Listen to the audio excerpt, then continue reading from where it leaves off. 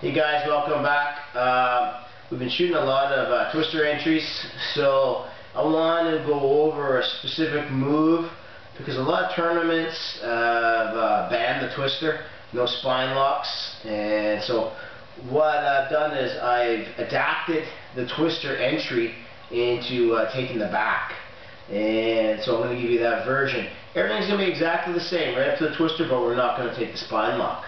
So Jason's head's going to be down. So, again, we're going to work over the same entry, okay? So, I'm good. I pull this one over, okay? I shot up, I hooked, hooked. Third hook there, nice and good, okay? What I'm going to do is I pop up, post on that foot, hand goes down by the butt, okay? And I just shoulder roll over. So from here now, I can take my uh, leg splice or my banana split, but what I'm going to do is I'm going to kick this one really hard. And I come right up for that head. And I want to just make sure this arm goes to the back here. And I get the choke right away.